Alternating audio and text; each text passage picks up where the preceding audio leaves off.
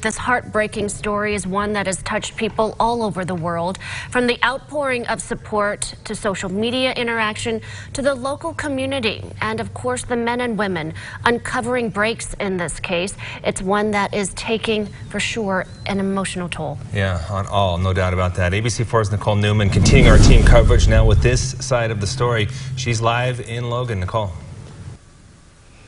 Glenn Saray, of course, as we continue to learn even more heartbreaking facts about this case, it's very difficult for it not to take an emotional toll.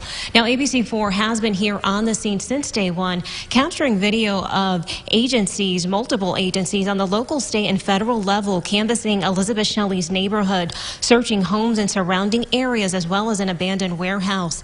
Now, on day five, it's painful to think about where this investigation is heading, especially for those closely involved in uncovering the facts.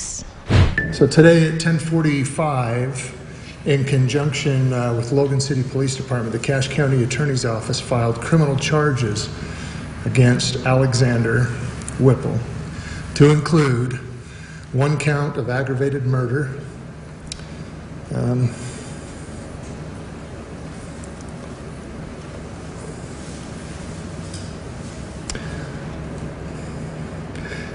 child kidnapping, two counts of obstruction of justice,